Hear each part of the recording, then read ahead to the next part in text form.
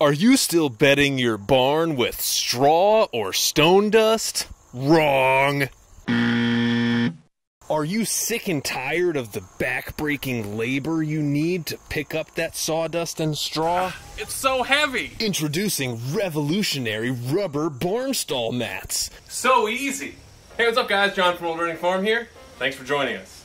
In today's video, we're going to talk about the best flooring that you can possibly get for your barn. And it is rubber barn stall mats. So when we first built this barn, uh, our, the idea was to have a dirt floor, but then because of the grade of the ground, we had to dig out a lot of dirt, and so it just wasn't feasible to then add more in. Um, so we put a wood floor down, and then we put wood shavings on top of it, pine shavings to be exact. Um, you know, that worked out pretty well, but then the problem became it was just a lot to maintain and it also got all in the alpaca's fur. So if you have animals that you're using for fiber, uh, the pine shavings just gets into their fur and it stays there and then it rots. It's no good. Um, and it also took a lot of pine shavings to fill this floor. So this is a 10 by 20 barn. Was 200 square feet, a little bit less than that on the inside. And it took like four or five bags of pine shavings to cover the floor with enough um, so that it was padded and, and ready to go. Um, but then it also broke down. Um, it would get soaked in the rain, and that's no good because we have a, a three-sided barn run-in. And then it also got wet, you know, with alpaca pee. Um, so that wasn't ideal. After that, we decided to go with stone dust, which is what we have on the outside here. And so as you can see, Stone dust is a mix of stones and dust. Um, so it's good to have on the outside because for our alpacas it helps wear down their toenails so we have to clip them less often, which is good. But then in here it created a lot of dust, which again they did like because they would use it for dust, dust baths and things like that.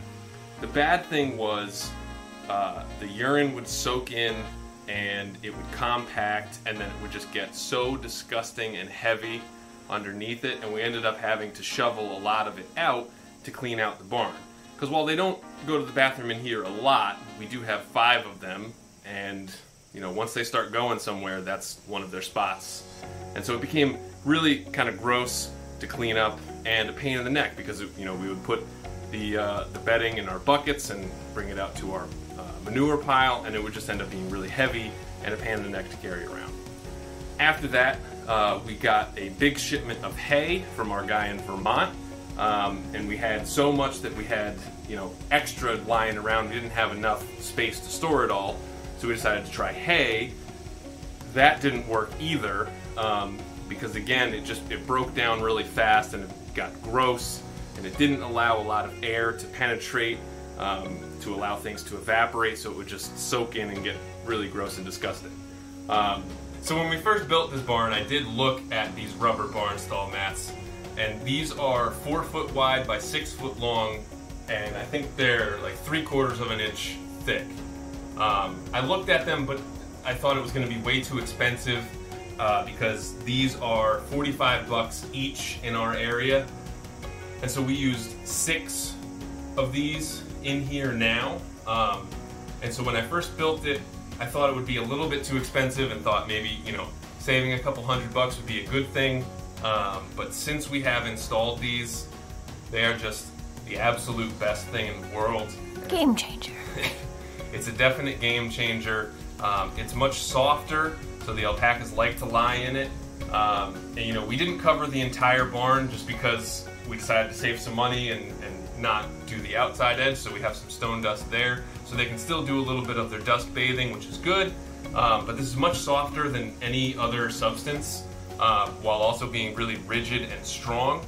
Um, and you know, nothing gets absorbed into it, so their their pee just can evaporate, and you know, there's no anaerobic breakdown of materials. Um, it's super easy to clean up, so that's really nice. And again, it's just, it's soft, it's absorbent, so it's good for them to, to hang out here and lie down in. Super easy to clean up. and I would absolutely 100% recommend getting these barn stall mats if you have any type of barn for your animals.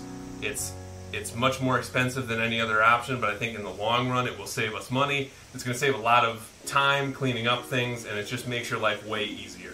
So definitely, definitely recommend rubber barn stall mats. We got these from Tractor Supply.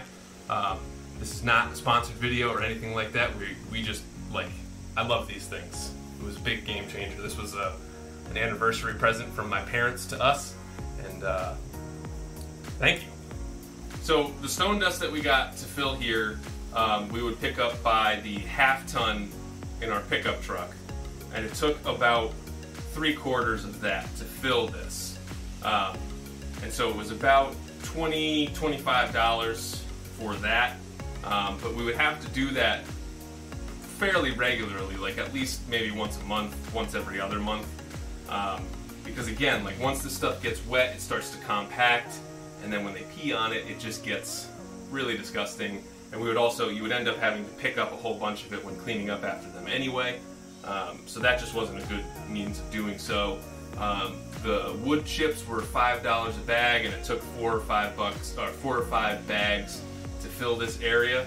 So that's 20 to 25 bucks, and that's again once a month.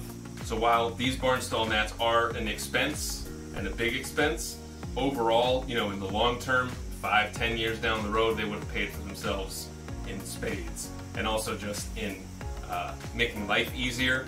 Well worth it. Thank you guys very much for watching this video. We really appreciate it.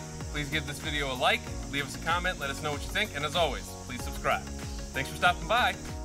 Bye.